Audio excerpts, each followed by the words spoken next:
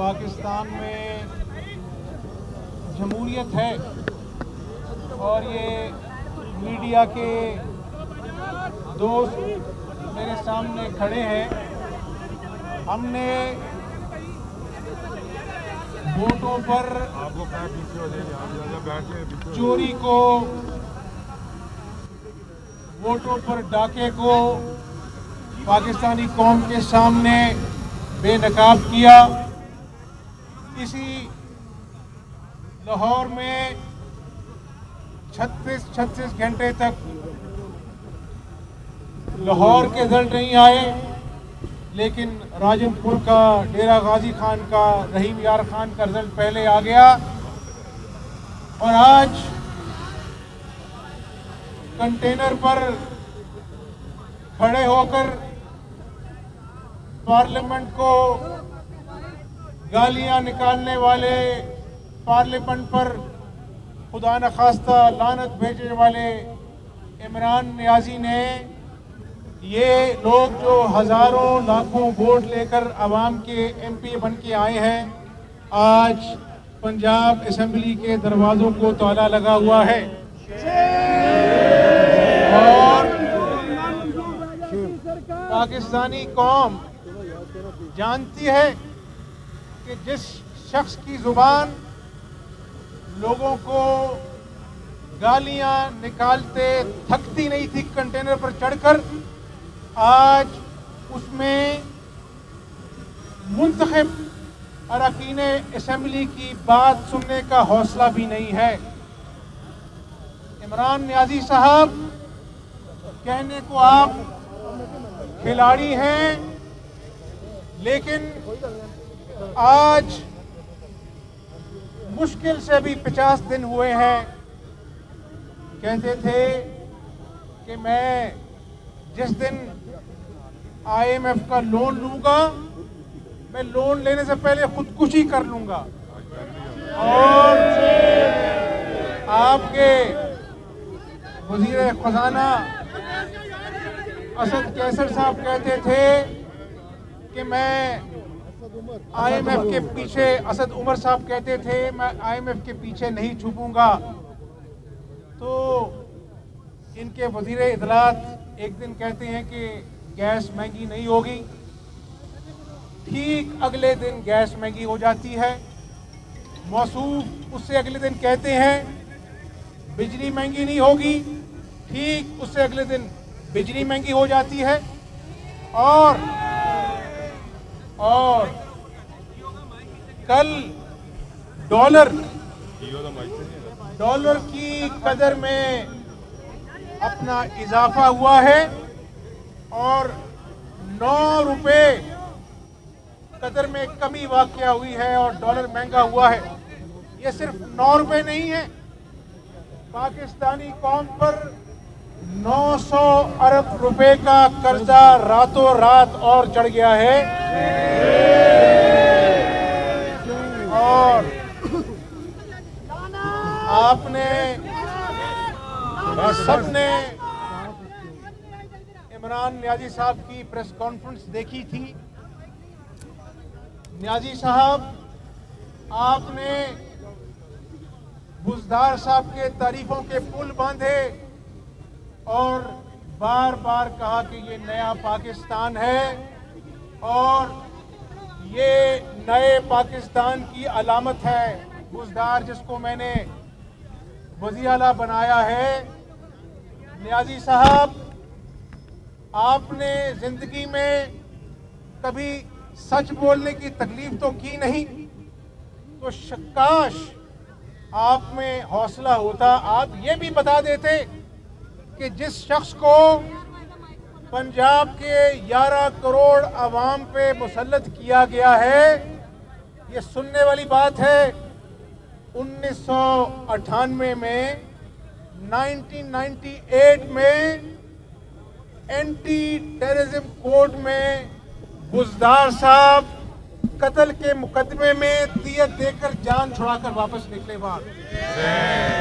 تو نیازی صاحب، نئے پاکستان کے نئے چناؤ بزدار صاحب کی تاریخی کلمات میں اگر آپ پاکستانی قوم کو یہ بات بھی بتا دیتے تو اصل میں پاکستانی قوم جانتی کہ آپ کا چناؤ کون ہے، آپ کی چوائس کون ہے، جس کو آپ چینج کہتے ہیں، چینج کا علم بردار کہتے ہیں۔ اس دن، دو دن پہلے سپریم کورٹ نے کہا کہ یہ جو پاک پتن کا کیس ہے یہ نیا پاکستان بنانے والوں نے یہ مثال قائم کی ہے۔ اور میں ایک اور بات بتانا چاہتا ہوں کہ نیب کو ان کی توجہ میں اس بات پہ مبزول کرانا چاہتا ہوں کہ یہ صاحب جو کہتے ہیں کہ پچاس لوگوں کو میں گرفتار کر لیتا تو نیازی صاحب آپ کو آغاز کرنا چاہیے۔ آپ کے سامنے وہ چہرے بیٹھے ہیں۔ ہم سب حاضر ہیں۔ جن کی آف شور کمپنیز ہیں۔ آپ کے سینئر وزیر علیم خان صاحب جن کی ریور ایج سوسائٹی ہے جنہوں نے ای او بائی ای او بی آئی کا سکینڈل کیا اربوں روپے کا غبن کیا اور وہ آپ کے سینئر وزیر بن کر بیٹھے ہیں۔ واہ واہ، نیازی صاحب، نیا پاکستان۔ پاکستانی قوم کو نہیں، ایسا نیا پاکستان صرف آپ کو مبارک ہو۔ اور آج آج آج جس شخص نے اس پنجاب اسمبلی کے دروازوں پہ تالا لگایا ہے، یہ تالا یہ تالا نہیں ہے یہ سب الیکٹڈ ممبرز بیٹھے ہیں، اپنے اپنے حلقوں سے ہزاروں لاکھوں ووٹ لے کر آئے ہیں۔ یہ تالا جمہوری نظام پہ لگایا گیا ہے، جمہوریت کا تماشا لگایا گیا ہے۔ اور سپیکر پنجاب اسمبلی پرویز رائی صاحب، سن لیجیے، آپ کا نیا لیڈر کسی زمانے میں، آپ کا لیڈر نواز شریف بھی ہوا کرتا تھا۔ پھر آپ کا لیڈر پریز مشرف ہوا کرتا تھا۔ پریز مشرف کو بھی آپ کہتے تھے کہ میں وردی میں دس دس برتبہ الیکٹ کراؤں گا اور آج آپ کا نیا لیڈر عمران نیازی ہے۔ تو عمران نیازی صاحب، اپنے دائیں بائیں جھانکیں۔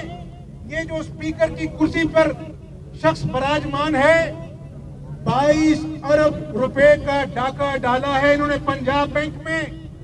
ان کے بیٹے این ایس آئی اسکینڈل میں جیل بھی کاٹ کے آئے ہیں۔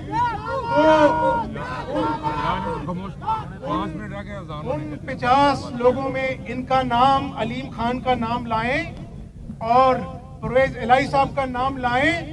اور آج میں پاکستانی قوم کو یہ کہنا چاہتا ہوں کہ اگر نواز شریف کے ساتھ مریم نواز جیل جا سکتی ہے، نیازی صاحب تو حوصلہ پیدا کرو۔ علیمہ خان کے اوپر بھی آف آکسفورڈ کمپنی کا الزام ہے، اس کے خلاف بھی انکوائری ہونی چاہیے۔ تو اس لیے بات کرنے سے پہلے سوچا کرو۔ اور ہم نے دس سال اپنا جو ہے مشرف کا احتساب کا سامنا کیا ہے۔ بہادری سے سامنا کیا ہے جب آپ مشرف کا جھنڈا اٹھا کر اس کے ریفرینڈم کی کیمپین کر رہے تھے۔ اور اس کے گیت گاتے تھے ڈکٹیٹر کے، اس وقت مسلم لیگ نون کے خلاف انتقامی کاروائیاں ہو رہی تھی اور اس وقت بھی اسی طرح کا نیب تھا، اسی طرح کا قانون تھا۔ نواز شریف بھی سرخرو ہوا تھا، شہباز شریف بھی سرخرو ہوا تھا۔ اور آج بھی جس مقدمے میں ایک سو انیس پیشیاں نواز شریف نے بھگتی ہیں، اس میں احتساب عدالت کے جج کو لکھنا پڑ گیا۔ کہ نواز شریف کے خلاف کرپشن ثابت نہیں ہو سکی۔ اور پاکستانی قوم پاکستانی قوم جان لے کہ شہباز شریف وہ شخص ہے جس نے دن رات اس صوبے کی خدمت کی، اپنی صحت کو داؤ پہ لگایا۔ پاکستان کی اکہتر سالہ تاریخ میں سنتے تھے کہ فلاں ٹھیکے میں اربوں کھائے گئے۔ شہباز شریف نے، نواز شریف کی قیادت میں بجلی کے منصوبے لگائے۔ عوام سے دو ہزار تیرہ میں جو وعدہ کیا تھا، وہ وفا کیا۔ اربوں کے منصوبے بھی لگے۔ اور یہ ریکارڈ کی بات ہے کہ تئی سو ارب روپیہ اس پاکستانی قوم کے ٹیکس کا پیسہ بچایا ان منصوبوں میں سے۔ آج میں نیازی صاحب آپ نے پچاس لوگوں کی لسٹ کہی تھی۔ آج میں پاکستانی قوم کے سامنے یہ بتانا چاہتا ہوں کہ آپ کو علیمہ خان کے بارے میں بھی انکوائری کرنی چاہیے۔ آپ کو بابر اوان جو نندی پور منصوبے میں جس کو عدالت نے کہا کہ اس کے خلاف انکوائری ہو آج بابر اوان اربوں کا قبن کر کے دندناتا پھرتا ہے اور آپ نے اپنی اس کو کبینہ کا حصہ بنایا۔ یہ سرور خان کون ہے؟ یہ بھی اس کے خلاف بھی انکوائریاں ہیں۔ یہ زلفی بخاری کون ہے؟ یہ جہانگیر ترین کون ہے؟ جس کو میں نے نہیں عدالت نے کہا۔ عدالت نے کہا کہ جہانگیر ترین ایک بھوٹا شخص ہے۔ تو میں نیازی صاحب کہنا چاہتا ہوں بڑے آج جی سے کہ جو زبان آپ نے استعمال کی وہ ایک پاکستانی وزیر اعظم کو اس کا اجازت نہیں ہے کہ اس طرح کی زبان استعمال کرے، لیکن آپ نے ٹھیک کیا، کیونکہ آپ ووٹوں سے، عوام کے ووٹوں سے وزیر اعظم نہیں بنے، آپ جعلی مینڈیٹ کی پیداوار ہیں اور پاکستانی قوم آپ کو پاکستان کا جالی وزیدم مانتی ہے۔ دنوں کا جالی ہے بھائی جالی ہے۔ جالی ہے۔ بھائی جالی ہے۔ وزیر آج بھی نواز شریف ہے اور یہ یہ اسمبلی بیٹھے ہیں۔ آپ میڈیا دیکھ رہے ہیں پاکستانی قوم سن رہی ہے۔ یہی صاحب نیازی صاحب کنٹینر پر چڑھ کر کہتے تھے کہ کراچی والوں نے آئی جی بدل دیا۔ آج پاکستانی قوم پوچھتی ہے کہ یہ زمنی الیکشن سے پہلے جو کھلم کھلا الیکشن قوانین کی خلاف ورزی ہے، آپ نے آئی جی کو بدلا۔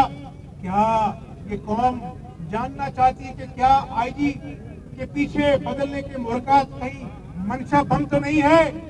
کہیں میاں محمود رشید کے بیٹے جس نے پولیس والوں کو یرغمال بنایا، کیا اس کے پیچھے یہ محرکات تو نہیں ہے کیا آپ نے جو غیر قانونی حکم آئی جی کو دیا، اس نے ماننے سے انکار کیا اور صرف آئی جی نہیں گیا آپ بڑی بڑی باتیں کرتے تھے کہ خیبر پختونخوا میں ہم نے نظام بدل دی اور آج ہم اس کو دورانی صاحب کو لے کے آئے ہیں۔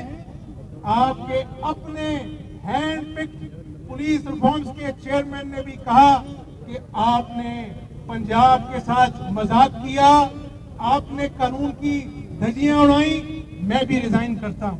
تو یہ نیا پاکستان بننے جا رہا ہے۔ میں نیازی صاحب، آپ کو کہنا چاہتا ہوں کہ آپ کھلاڑی رہے ہیں، لیکن آپ میں سپورٹس مین اسپرٹ کا دور دور تک کوئی نام و نشان نہیں ہے۔ اگر آپ میں اسپورٹ مین ہوتی، آپ میں اخلاقی جورت ہوتی، تو یہ کہنے سے پہلے کہ میرے بس میں ہوتا تو میں پچاس لوگوں کو گرفتار کرتا، نیازی صاحب پہلے۔ پہلے۔ بنی گالا کے نجائز تجاوزات کا تو حساب دو پاکستانی قوم کو، پھر ریڈی والوں کو ہٹا دینا ان کے روزگار پر لات مار دینا۔ پہلے اپنے بنی گارا کے نجائز تجاوزات کا پاکستانی قوم کو حساب دو۔ شہباز شریف کو بلاتے ہیں صاف پانی میں۔ جب کوئی ثبوت نہیں ملتا تو آشیانے میں دھر لیتے ہیں۔ اور آج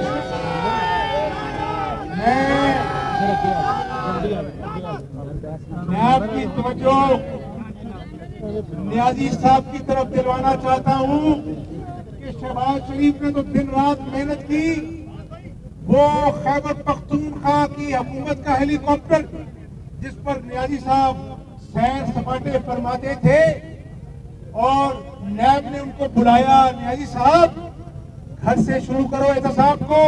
بتاؤ کتنے لاکھوں کروڑوں کا پیٹرول خیبر پختونخوا حکومت کا آپ کے سیر سپاٹوں میں ضائع ہوا اس کا جواب دیو پھر جا کے پچاس لوگوں کو گرفتار کر لینا۔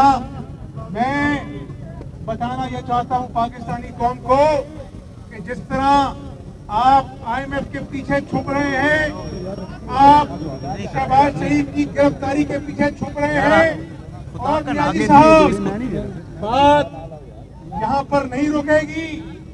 آج ہم اسمبلی کے باہر بیٹھے ہیں۔ ان اسمبلیوں کے دروازے بھی کھلیں گے، تالے بھی کھلیں گے، میدانوں میں بھی بات کریں گے، جلسے بھی کریں گے۔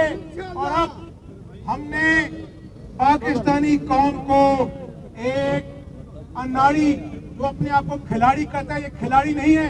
اناڑی کی غلط پالیسوں سے پاکستان کو اپنے بچانا ہے، انشاءاللہ۔ اور میں ایک دفعہ پھر ایک دفعہ پھر یہ مطالبہ کرتا ہوں نیازی صاحب سے کہ آپ اپنے گھر سے احتساب شروع کریں اپنے سیر سپاٹوں کا پاکستانی قوم کو حساب دیں اپنے گھر سے علیمہ خان کی آف شور کمپنی کا حساب دیں نیازی صاحب۔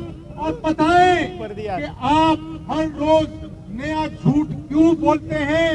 جو وعدے کیے تھے، وہ وعدے پورے کرے اور شہباز شریف کل بھی عوام کے دلوں میں بستا تھا۔